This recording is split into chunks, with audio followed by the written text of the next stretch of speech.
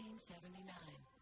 Maryam was a typical American teenager, living a typical American teenage life. Hey, Dad, I'm gonna a party. Excuse me. What kind of a party? But when the world changed, so did hers. To my nephew. Welcome to America. Dad, you think the U.S. should follow Iran? We're going to be watching all you Iranians pretty damn closely. Is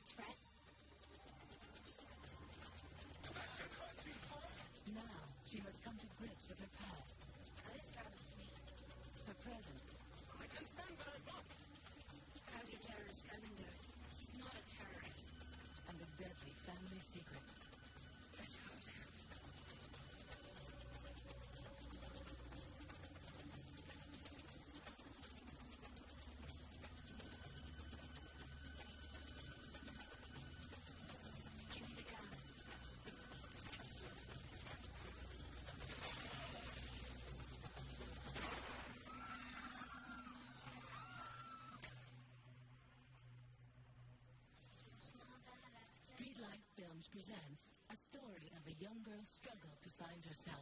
Hey, Mary. Just